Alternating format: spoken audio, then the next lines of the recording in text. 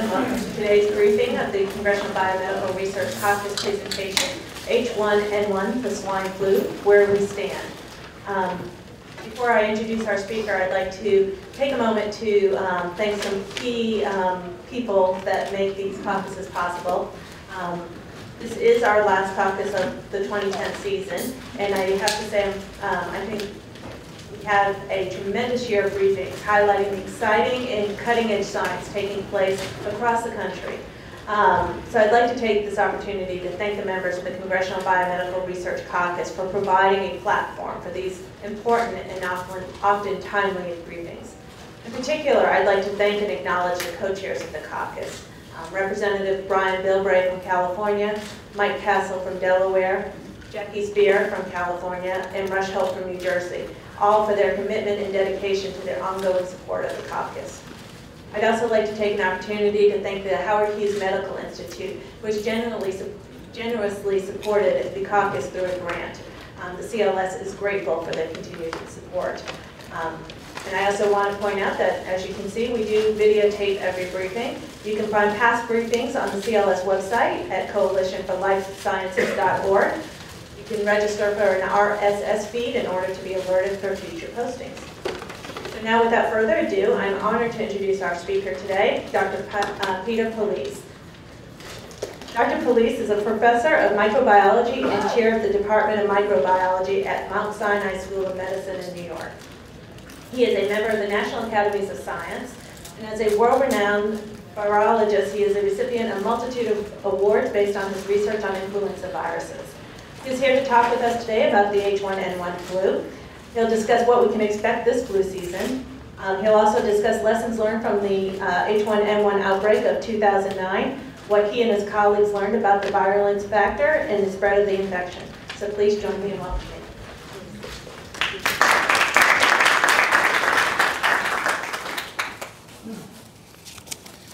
Thank you very much. So what I'm going to try to do today is to uh, explain the complexity of influenza viruses, specifically as it refers to the swine H1N1 influenza viruses, but also uh, what we can do about it in terms of vaccines and antivirals. So the disease influenza is caused by a virus. So this is an influenza virus in all its beauty. This is an electron micrograph. And you can see here uh, a couple of, okay. Uh, you can see here uh, on the inside the uh, genetic information that's like a mini chromosome, but it's RNA rather than DNA in this case. And there are uh, eight different RNA segments, one in the middle and, sev and seven around. And then there is a uh, lipid membrane and then some fuzzy thing on the outside, and that is what we refer to as the hemagglutinin and the neuraminidase, or hemagglutinin subtype 1 and neuraminidase subtype 1. So that's what we, you have probably read in terms of H1N1 swine virus. There are many different of these uh, hemagglutinins and many different of the different of these neuraminases. Now, uh, a virus is very, very small, so this is blown up. It's obviously an electron micrograph. Does anyone have a feeling how big a cell would be which would be infected by this virus? How, how big would it be? Like this room, uh, the building, or anyone, any feeling about that? How, how big would be a cell which gets infected and after eight hours, 100,000 new virus particles are made, and uh, that is what's causing the damage. So how big in relation would it be? Eight microns? Yeah, okay. It's about, it would be the size of, the, the, the number is correct, but if we sort of have it, uh, uh, sort of magnify a cell uh, in relation to this influenza virus particle, it would have the size of about uh, a World Trade Center. So you can see this virus is very, very small. It infects the upper left corner of the World Trade Center, and within eight hours, 100,000 new virus particles are made, and uh, therefore the cell kills uh, the cell, and if it is a lung cell which gets killed, then, and not only one, but if uh, a third of the lung cells uh, get killed on the surface, then obviously uh, people can die of influenza. Now, another term which we have to understand is there is seasonal influenza and there is pandemic influenza. Seasonal means is what we regularly get during the winter season, and pandemic means it's a global epidemic. It, goes all the way uh, all around the world. And pandemic influenza viruses are very famous in terms of 1918, most vicious uh, influenza uh, pandemic we had, but also we had uh, one in 1957, 1968. But even though we, I will talk mostly about pandemic influenza viruses, including the swine pandemic from last year, there is this uh, seasonal uh, influenza, and that is uh, also important, and we shouldn't underestimate the regular seasonal influenza. Uh, we have here, and these are CDC or WHO, World Health Organization numbers, where we can see that there are quite a lot of deaths uh, on average uh, per year. Uh, if we talk about the US, we have uh, more than 200,000 hospitalizations per year, which is actually quite a lot. And then the, these are very recent numbers from the CDC where uh, we can see that depending on the season, and here is sort of a low one where 3,000 people died, and if we talk about uh, 2003, 2004, we had many more uh, people dying. So this is sort of uh, for us to understand that seasonal influenza is a problem, but more important is obviously when we have a pandemic, and there is always a economic cost associated with these influenza uh, outbreaks. Now, I said uh, influenza, there is a lot of complexity, and the reason is that the virus constantly changes.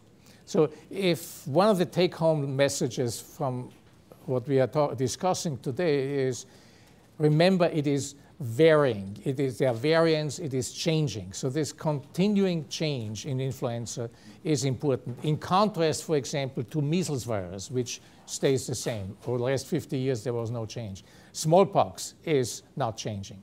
But in terms of influenza, we have a continuous change.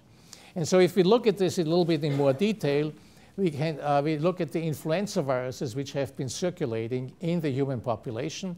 And I start here and there are sort of A, B, and C uh, influenza viruses, which are different. They all come from a common uh, ancestor. Some of us believe in Darwin, in, in evolution.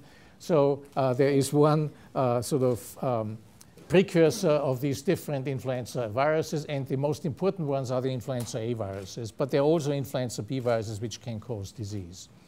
And what we are looking at here is in 1918, there was this uh, Spanish flu, which probably most of us have heard about. And uh, this virus belonged to the H1N1 uh, type and uh, started in 1918. The first influenza viruses go back, which we have in the laboratory, uh, from 1933, and that's why we have a broken line here. Then there was a different outbreak in 1957, as I mentioned, H2N2, a different subtype, and then in 60, so this is Asian flu, and Hong Kong flu 1968. And then H1N1 reappeared, and then very strange, as you, and we will talk about this much more, uh, a new pandemic H1N1 virus emerged last uh, April. So this is fairly complex, and particularly if you also have influenza B virus, uh, again, uh, this is the 40s, the first isolates, but uh, not only do these viruses change in terms of their hemagglutinin, where we have a different, what we refer to as subtype from H2 to H3. But even uh, from year to year, the blue H3 and 2 are changing, the B viruses are changing, and the H1 and 1 viruses are changing. And that's sort of really uh, important, and that, uh, in a sense, that we are dealing here with a sort of abundance of different strains. And so if we look, for example, uh, in the year 2000, we have an H1N1, we have an H3N2, and we have a B virus. And last year, as you will remember, uh, as you probably remember, we had actually four different strains. We had a B, an H1N1, pandemic, H3N2, uh, regular, regular seasonal H1N1. So what made it one, two, three, uh, four different strains. Now, uh, the seasonal influenza, most people who get infected are not dying. However, and that's sort of what uh, people are in the uh, people in the business are afraid of is that we have something like 1918.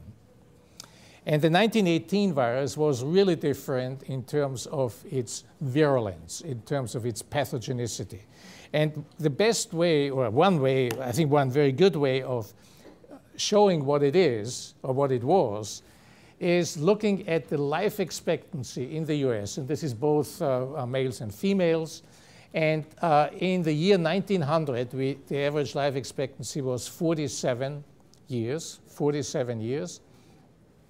A female born in 2010 has a life expectancy of 80, so it's almost a straight curve, yeah, really very impressive. But the reason I show it is here we have an 11 year dip, and that was the influenza pandemic in 1918, November 1918 to about February of 1919. Yeah? In the US, we had about three quarters of a million deaths, worldwide 50, maybe even 100 million uh, people. Okay? So that is what we are concerned about. Having a pandemic, a global epidemic, within a very short period of time and causing a lot of morbidity, a lot of disease, a lot of mortality, a lot of uh, death. And I just want to mention, God bless you. Uh, I just want to mention also that this virus here uh, is we have actually, we can study this virus in the laboratory, and it is based on material which was obtained from army soldiers who died in the 1918-1919 uh, pandemic.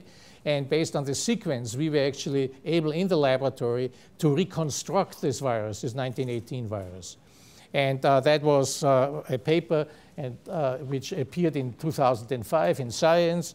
And uh, uh, most of the people are here from Mount Sinai, where we developed a technology that uh, we can make in the laboratory an influenza virus. And this virus we have studied over the last five years quite extensively in monkeys, in mice, in um, chicken, uh, in, in, many different animals, and we actually uh, found out that this virus really is a virus which is more virulent, as I said, uh, had, has a bigger punch than other viruses. And I show you one slide, which from our own laboratory, which makes it also sort of clear in terms of uh, virulence of the 1918 virus in mice. And we are looking here at a mouse lethal dose 50. So we ask how many virus particles, infectious particles, do we need to kill out of five out of 10 mice or whatever number we have.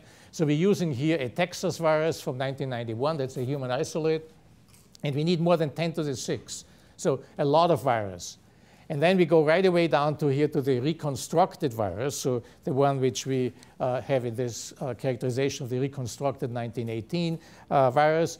So that one uh, in red here, we only need 3.3 logs. So that's about a thousand times, so less virus we need here in order to kill 50% of the mice as compared to a control or regular H1N1 virus, which was isolated from a patient in 1991. And then you can see here a virus which has two genes. So these are these eight genes which, which I showed on this earlier slide, electron micrograph, where we saw these sort of uh, uh, black dots in there. So if you have two of the uh, 1918 virus here, so it's uh, two uh, red ones and the remaining six ones are from the mellow, less virulent virus. We have something in between. We need 4.7 logs rather than three or six. So this is really 1,000 times uh, more virulent. And uh, we can do this uh, kind of experiment also in other animals or other, other animal systems and uh, the numbers are slightly different there, but in essence uh, also, uh, let, me, let me just show you this. Here we look at chick embryos. So this is an embryo lethal dose 50. And here again, the same kind of viruses. Here the numbers are different. So this is a million times. We need a million times less virus to kill 50% of the chick embryos in this case here. So you can really see that this virus is a more virulent one, and that uh, has been also proven by the numbers, as I said before, where we had this major drop in uh, life expectancy. So, and that's sort of what we all are sort of afraid of, that such, that the regular virus either is um, uh, changing into something like this, or that by uh, mixing of these genes. There are all kinds of influenza viruses out there in birds, in reindeer, in whales, in uh, uh, pigs, obviously, uh, in horses, in dogs. And by sort of rearranging of these mini chromosomes here, that things may emerge which actually are equally or theoretically even more virulent than the 1918 virus. So that's sort of what what we in the field and, and, and people who study uh, this virus are afraid of, that either by mutation or what we call reassortment, where these genes are being taken from different influenza viruses in animals, be it birds, be it chicken, turkey, etc. And that we really can't predict uh, whether, for example, this virus, by making or acquiring five new mutations, that it would become something like this. And we really can't predict, okay? So that's sort of why I think uh, we have to be sort of worried and also uh, prepare and, and, and, and uh, have vaccines and antivirals in place in case such uh, a change occurs. So there was probably, uh, some of you probably will remember we had uh, a scare of another pandemic about 10 years ago, and that was the avian influenza. This was an H5N1. Okay, so instead of having uh, the hemagglutinin there's an H1N1, this was an H5N1, and we may probably remember this sort of, this was 1997, and it um, started out in Asia where a lot of birds died. So this is a, an avian influenza virus in essence, an H5N1, and uh, what it did was it uh, killed actually a lot of birds, and uh, the numbers are really that over a billion birds either died of uh, H5N1 infections or had to be culled, had to be uh, killed in order to sort of quarantine and, and, and prevent the spread of um, uh, the H5N1 virus. And uh, fortunately, as you probably know, we do not have H5N1 in this country. So we do not have the virulent H5N1. So this white means uh, there are no uh, examples in either nature, nature or in chicken or turkey farms where this H5N1 has been found. However, as we said, uh, it started out in Asia and went into Europe and also a large uh, uh, and not, not everywhere it's reported in, in Africa. So we believe actually uh, more countries than shown here have experienced virulent H5N1. And uh, also some people uh, have been affected, and these are actually the official numbers by the uh, WHO, where we have here the countries and the number of cases. So these are all hospitalizations. And uh, the number which uh, is given is about 500, so this was from last month. And uh, there were 300 deaths in humans. Now, in all cases, however, uh, these people here had direct contact with chicken.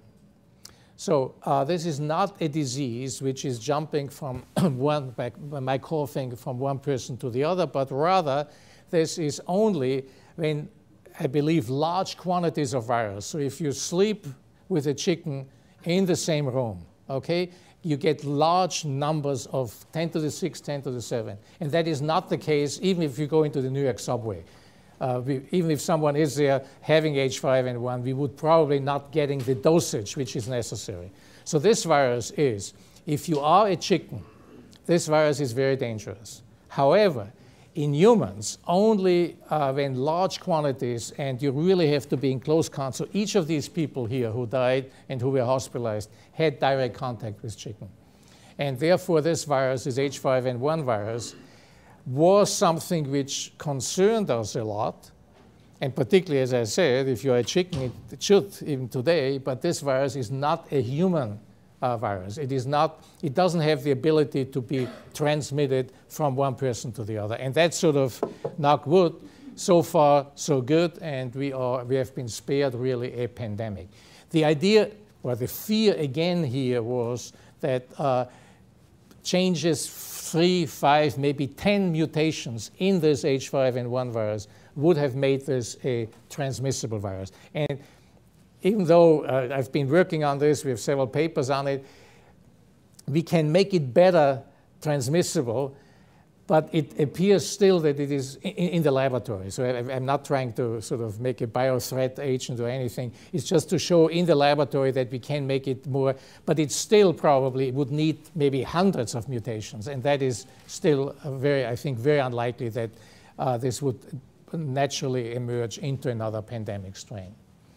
Okay, so uh, this brings us now to the last pandemic strain, and that's referred to as the swine origin H1N1, and I will briefly uh, say why. It was first confirmed uh, in late April of 2009, and it was in Mexico. The Mexicans don't like to hear that, but it uh, could have happened anywhere. I mean, it's not clear whether the virus emerged there or not. And then the WHO, World Health Organization, declared it a pandemic, a global epidemic. And so we had, remember, we had only 1918, 1957, 1968 as pandemic strains, where the hemagglutinin changed. In this case here, some of us felt right in the beginning that it's not a real pandemic strain because the hemagglutinin hasn't changed from what we already have. Yeah? So it is sort of, I call it a 0.5 pandemic. Yeah? Because the hemagglutinin neuraminidase is similar to the H1N1 viruses, if you remember, which were still circulating or are still circulating with us today. Uh, nevertheless, uh, as of the beginning of this year, uh, CDC uh, found uh, that we had uh, probably, I mean, this is an estimate, maybe a third in some populations, probably half of the young people have been infected. And uh, we had uh, lots of hospitalizations, actually more than usual. And we also had some uh, deaths related. And the unfortunate thing here was that it wasn't the oldies, but it was the younger population. And uh, still, we had about uh, 14,000 deaths associated with the uh, swine virus. So this is nothing to sort of ignore. And we had um, viruses which were particularly targeting the young one, pregnant women, etc. And so that was unusual, and I will explain why this uh, was the case. Uh, and uh, as I said here, I mean, particularly uh, younger than 65, usually with regular influenza, the older than 65 are affected, you die, are hospitalized. In the case of the swine virus, it was the other way around. Uh, very briefly, why was it uh, called a swine virus? And that uh, is uh, the reason is that most of the genes are derived from swine viruses. So, so this is here this new virus which has the eight RNAs, and it's what we call a triple reassortant. It got its genes, and again, we don't know whether this happened in Mexico or anywhere else, or it happened in a pig, or happened in a human, or in another animal. And so it has these, I think, bluish, uh, uh, uh grayish genes.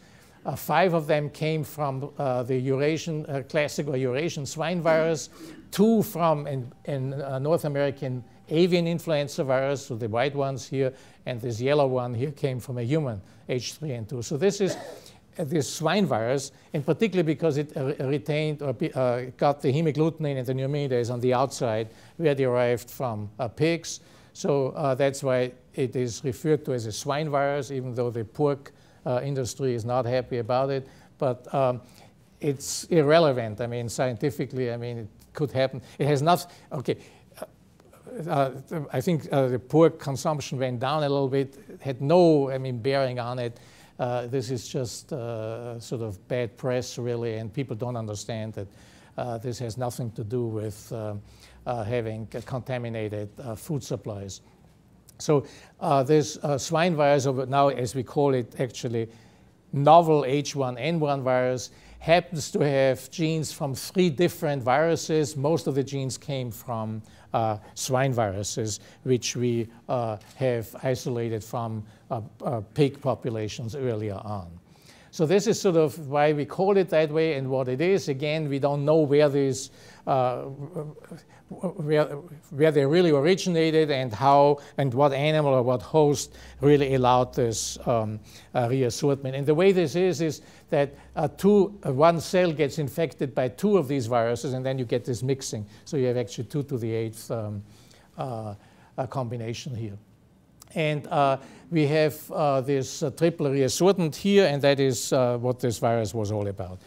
Now, uh, the swine virus uh, is something which uh, is unusual and compared particularly to the H5N1 virus, it transmits very, very well. And uh, it has the hemagglutinin and the neuraminidase, the H1 and the N1 uh, surface glycoproteins, which were similar to the viruses which were circulating before that. And what that means is that people have some immunity against this uh, virus. Uh, this is very specific, but also this new swine virus, H1N1 pandemic strain, doesn't have a particular gene. It's called PB1F2. It, uh, it just happens that my lab worked on that way before this came because all the other pandemic strains, 1918, 1957, 1968, has that gene. And uh, it happens that the 2009 virus doesn't have it. And since this is a virulence gene, it was pretty clear right from the beginning that probably this new pan pandemic strain is less virulent than uh, any of the other pandemic strains we had. And then very important, very early on, we realized that it is also sensitive to FDA-approved uh, anti, anti-influenza drugs. So this is, uh, in a way, uh, very, very good news so that we do have what we refer to as herd immunity, meaning uh, the population at large has some immunity because we have been exposed to other H1N1 viruses, so that uh, the new one can't really replicate that easily from one person to the other. It's missing one of the genes and then also is sensitive to uh, FDA-approved uh, drugs. Now, in terms of uh, the death, you know, there is something which we should look at. So this is directly from the website from the Center for Disease Control. And those who can see it down here are the seasons. So that's the last season from 2006, 2007, 2007, 2008. And the green uh, columns here are in the pediatric population. So this is from 0 to 17 years old. And we're just looking here at the number of deaths, and we can see here sort of uh, a number. And this is in the season of 2008, 2009. And then we start here in the summer of, uh, two, of 2009, and then uh, the fall of 2009 to 2010. And you can see here in violet or pinkish, whatever the color is here, in that pediatric population from 0 to 17, we had more deaths than with regular seasonal influenza. So yes, the overall number of disease cases and the overall number of deaths in this H1N1 is lower, but unfortunately in that young population, uh, it actually was higher. And that is something we really uh, have to uh, sort of understand. And uh, let me sort of just uh, tell you that uh, we, are, we, are, trying to understand why is this virus so easily transmissible, and what we are doing is, so this is just uh, giving you a, a, little bit of a feeling that we, are, we, we have to use animal models. We obviously can't do it with medical students, or it used to be that one could, could do that, but not anymore. Uh, to find out what is sort of important in terms of transmission, because that's sort of a, a major criterion. Your H5N1 didn't transmit, H1N1 does very well. So what is it that uh, it makes? And so these are people uh, in my laboratory, uh, postdoctoral fellows, and then a colleague from the Center of Disease Control. And so what we are trying to do is, so we have set up an environmental chamber here. So this is about uh, maybe 10 feet high. And then we have these cages here which have open sides at the top and on one side. And then we infect one animal and one is uninfected. And so we have four pairs in here, uh, eight animals all together. And then we ask the question, what, under what condition, for example, which virus transmits easily from an infected to an uninfected? So they can't, uh, they are not in direct contact, they can't lick each other, so it has to be an air, uh, uh air transmission.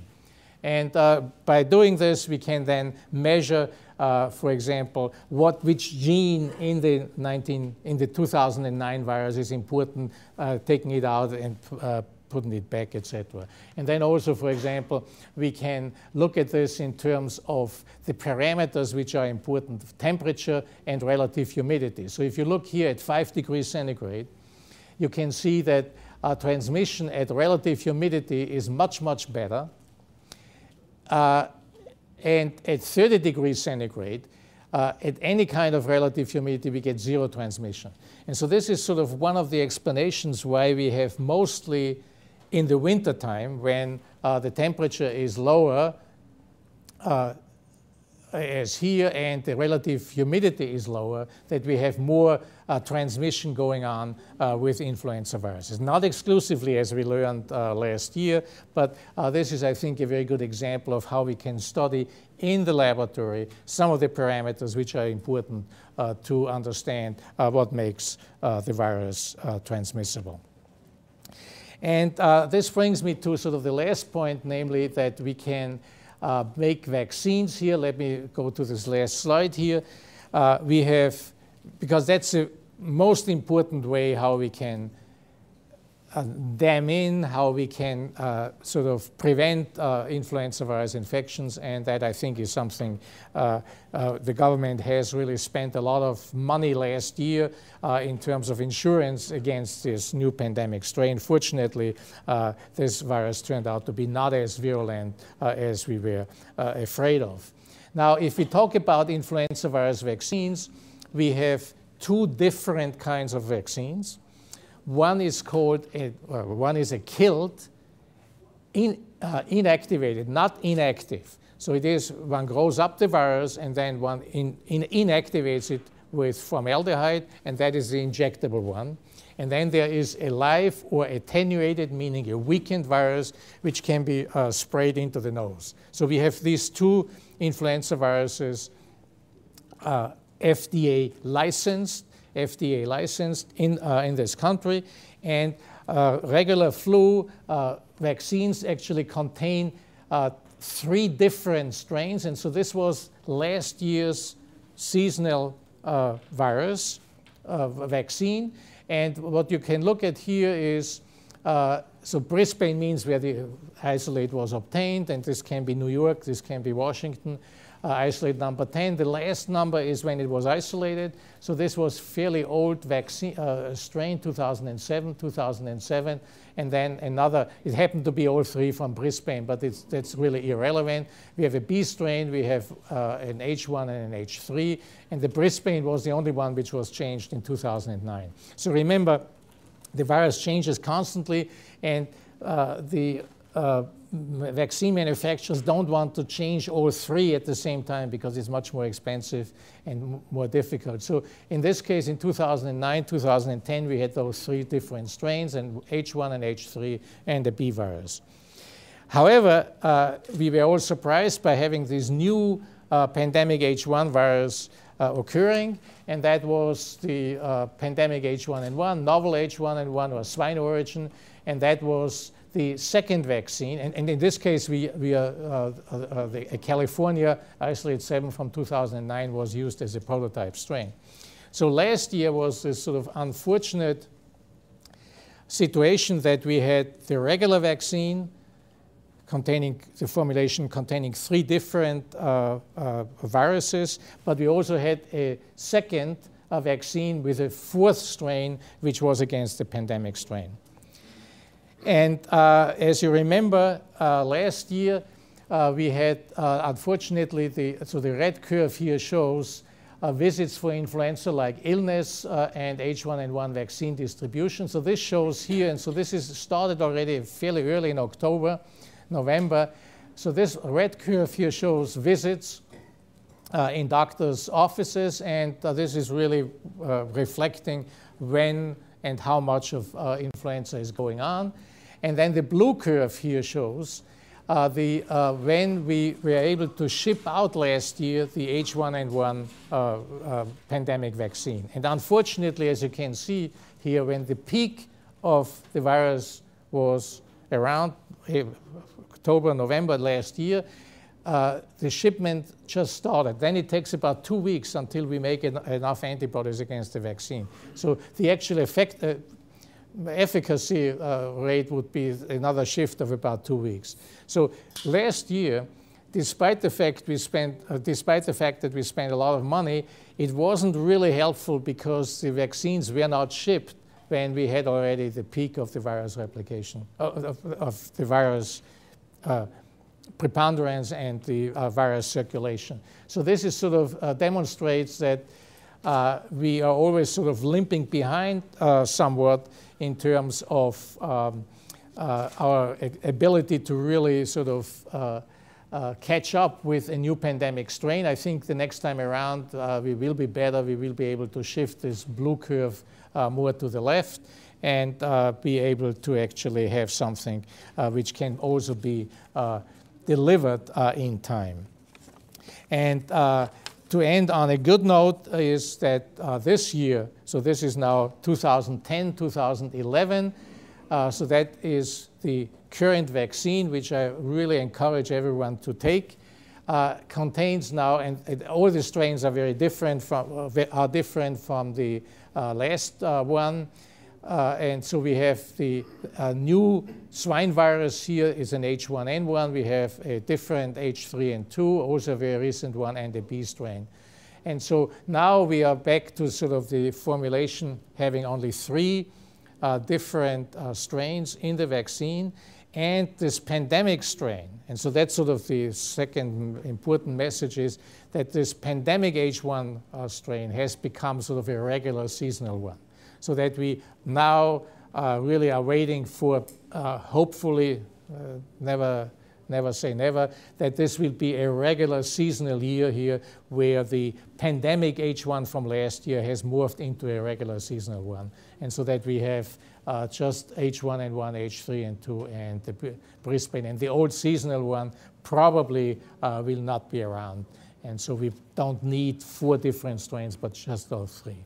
And from what we know uh, already, and we have a little bit of knowledge from the southern hemisphere because they have winter during our August, so that this is really holding up and that the flu season now will be sort of a regular seasonal consisting uh, uh, of these kinds of strains and that this will be uh, what we uh, will uh, experience as we go into November, December, into the flu season. Okay, uh, I'm happy to answer any questions you might have, and I'm also sticking around if someone wants to uh, know a little bit more about it. Thank you very much.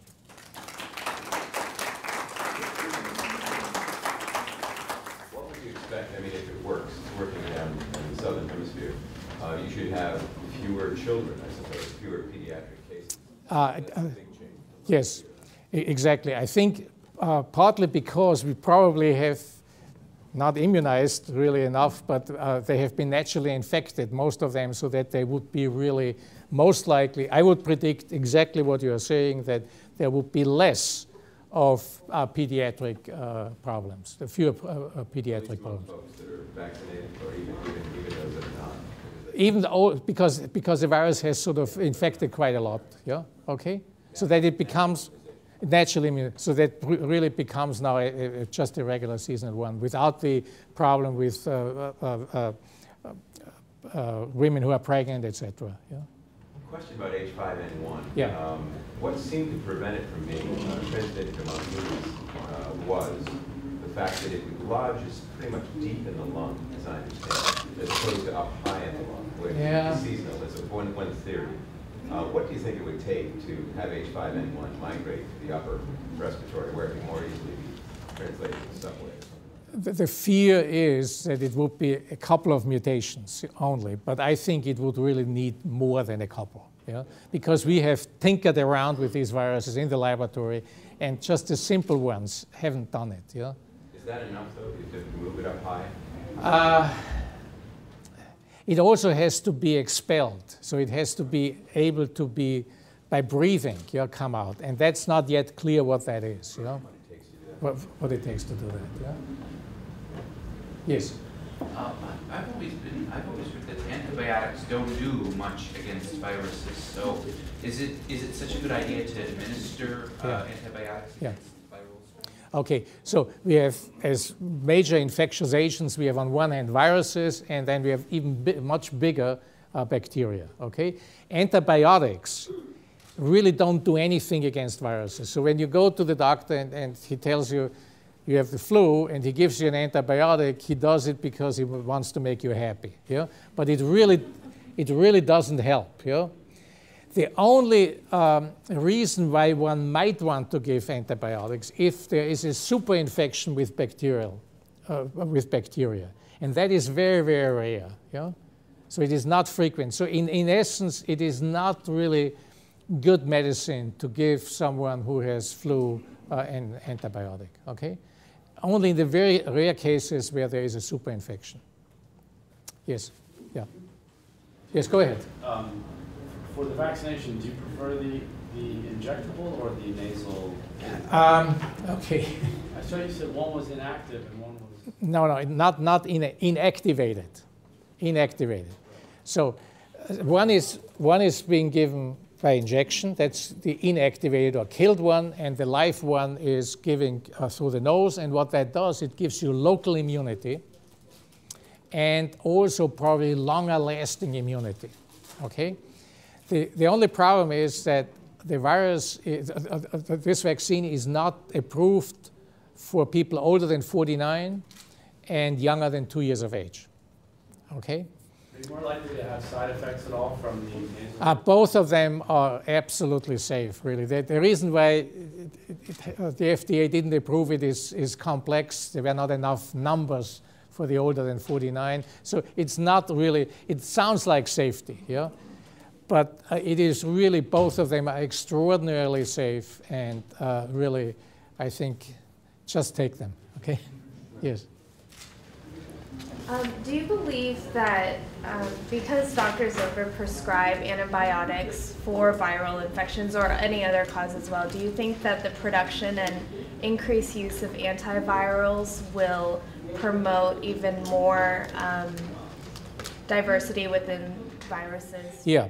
Okay, so the, the excessive use of antibiotics has certainly led to the emergence of resistant bacteria, and certainly the use of a lot of antivirals will lead to more, uh, to, the, to a larger number of resistant strains, and we know this from HIV, etc. That's unfortunately true. On the other hand, we don't have a chance, you know?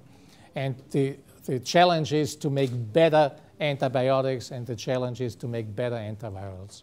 Okay? Yes? There was a lot of discussion about the process that we use to create, produce vaccines, cell-based versus egg-based during the pandemic, and I was just kind of wondering what the status yeah. of that is. Yeah. yeah. So at this point, all the vaccines here are all, in the US, are all made by eggs. So in other words, they are embryonated eggs. So, so we, we just, uh, one takes a fertilized egg and injects the virus in there, and then the virus grows in the allantoic uh, cells, uh, epithelial cells. And then at the end of 48, 72 hours, one takes it out and then spins down and gets the virus. So that's the egg production, and that is a 50 year old process.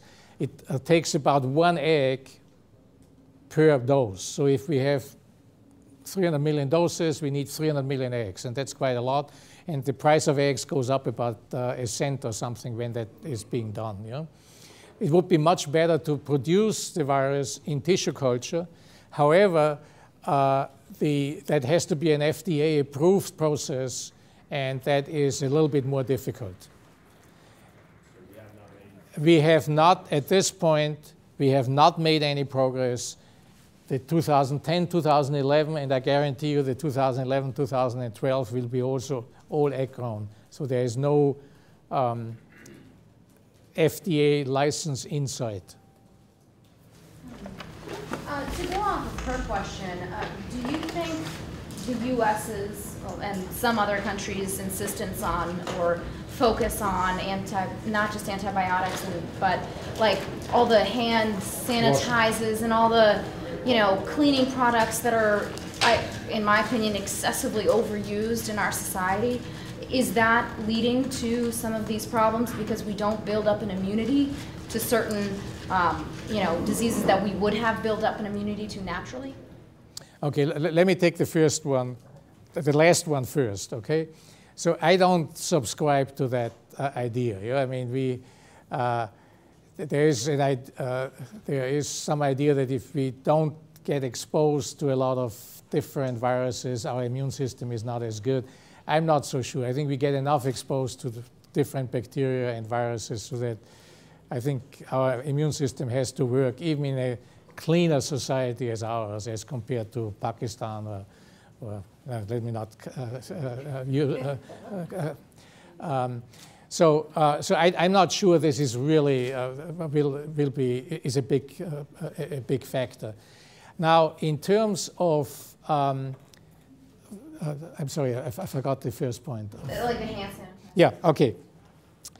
Uh, influenza is not transmitted by handshaking, even though uh, the CDC uh, says we should wash our hands. I'm not, not against washing hands, but okay, but for other reasons. Yeah?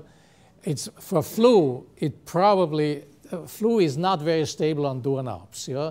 And it is really a virus which is transmitted through the air. So that the washing of hands, yeah, what it does is it, uh, there are studies actually when you have a face mask and wash your hands, you are sort of keeping, uh, there's social distancing involved with that as well, and being more aware, not coming too close, etc. So those are factors which are probably operating in terms of reducing the transmission. But the transmission of flu, as compared to other, I mean, HIV is not transmitted through the air, yeah? So uh, other things we have to do about HIV transmission, okay, I mean, avoiding. But uh, for flu, it's really a, a, disease transmitted through the air so that the, the act of washing hands yeah, is probably not that helpful, despite what the CDC says. Yeah? And, and I, they, they just actually published last uh, uh, night you know, the uh, new guidelines, and they are sort of a little bit more wishy-washy about uh, washing hands. Yeah? But uh, I, I, think this is a, again, I think it's good for other reasons, but for influenza specifically, it may not be something which is uh, preventing transmission because it's transmitted in a different way. Yes? There was an article last year in the New York Times saying that women immune response half the dose of the flu vaccine and they have less side effects by getting a smaller dose of flu vaccine. Uh, I think uh, it's probably perfectly fine to take half, you know. Uh, so it, it's really, uh, on the other hand, the side effects are so minimal, you know. I mean, it's a little bit of reddening, you know, and maybe a little bit of stuffiness in the nose with the killed versus the, the live. I'm not sure that this is a real big issue. Yeah. Is it, would you expect that that holds true for all, you know, whether it's avian, whether it's seasonal, whether it's pandemic? Yeah, yeah. I'm just thinking as far as, you know, kinds of policies that we Yes, I think yeah, the, only thing is, yeah, if you take half, then you will have the majority of people will be perfectly protected, but there may be a small, when you come down to the curve, of uh, a small percentage of people who really would have needed double, the, I mean, the, the, the regular amount. So the reason that amount is given is that 98% then are being are captured. Yeah? So if you go down to lower levels, you may lose some of the people in terms of making a good immune response. But it's a very, I mean, it's a very safe vaccine, really. I mean, this is, I mean, has been around for 50 years. You know, we are used to egg uh, proteins and all of that. So this is not a, you know, uh, it's a really safe one. You know. What is the, uh, the time frame the time you got your eyes to the time you were able to Yes.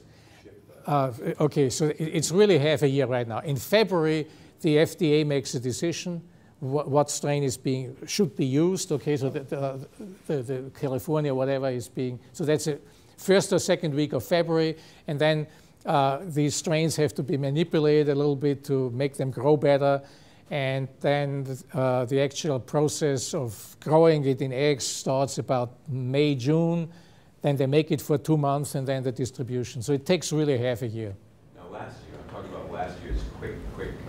Yeah. That was quicker. It was not, but it also involved 300 million doses. So it wasn't really, the, the six months were still six months.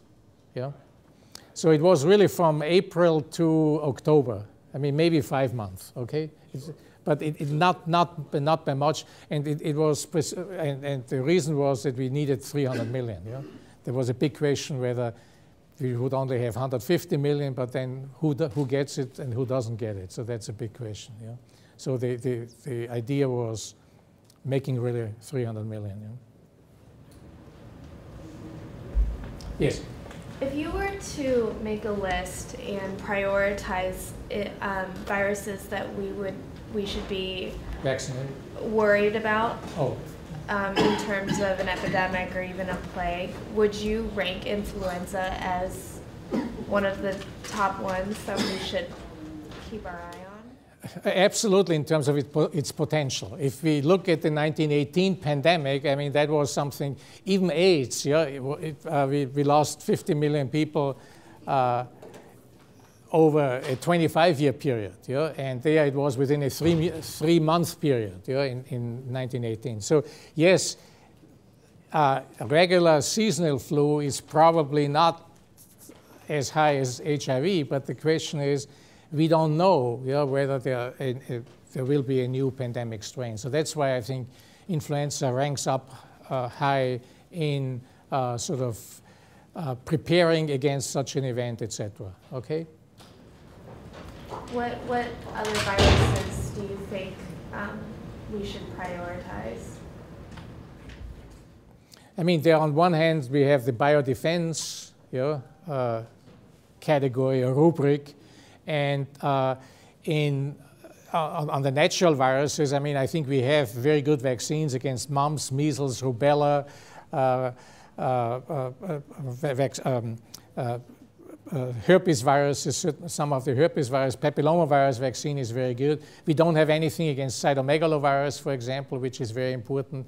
Uh, and uh, I think we, we need uh, virus, we need uh, good rotavirus vaccines, which are being uh, made right now. So I think it's, it's um, fairly clear what kind of vaccines we really need, and a lot of the efforts, both in academia and industry, are really directed against that. Good. Thank you very much. I appreciate it. Thank you.